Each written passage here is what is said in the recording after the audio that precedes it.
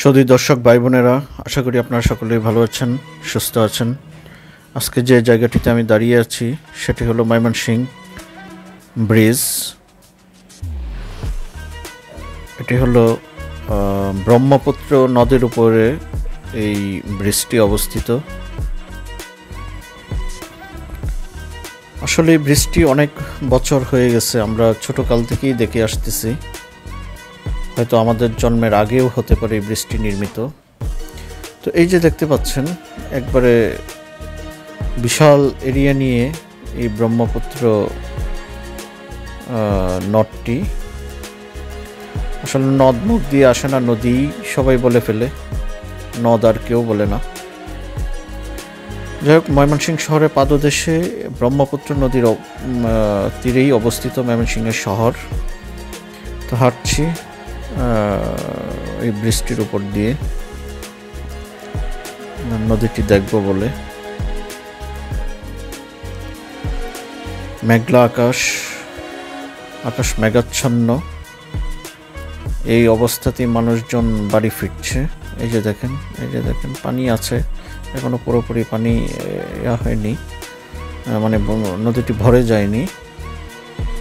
অনেক জায়গা খালি পড়ে আছে। বর্ষাকালে কিন্তু পুরো নদী পানিতে তলিয়ে যাবে।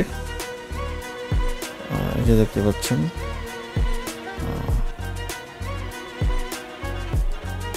তলিয়ে যাবে। অনেক বড় নদী। এই যে দেখতে পাচ্ছেন, ম্যাডাম। ম্যাডাম দেখাচ্ছে যে, একটু দেখাও। নদীটি একটু দেখাও।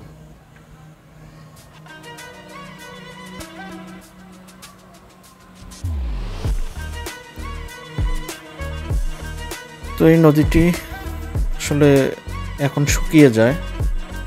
বর্ষা মৌসুমে ভরে যায়, আবার শুকনো সিজনে শুকিয়ে যায়। এরই মধ্য দিয়ে মেঘাচ্ছন্ন আকাশ ছুটে চললাম বাড়ির দিকে। আমরা ব্রিজ পার হচ্ছি।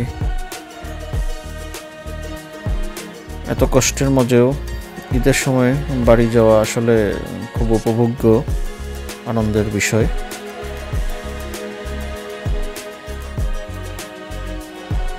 রাস্তার পিচ দেখে মনে হচ্ছে কিছুক্ষণ আগে এখানে বৃষ্টি হয়ে গেছে। কারণ রাস্তা একদম ভিজা, স্যাঁতস্যাঁতে হয়ে আছে। আমরা ছুটে চললাম আমাদের বাড়ির দিকে। স্থায়ী গন্তব্যে।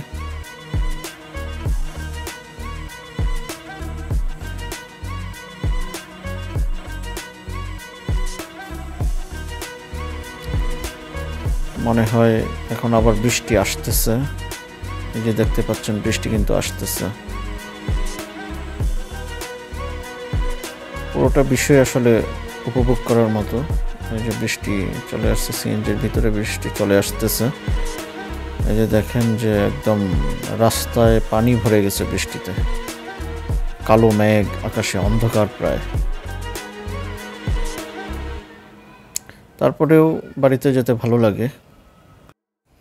আজকের মতো ভিডিও এই পর্যন্তই। সবাই ভালো থাকেন। খুদা হাফেজ।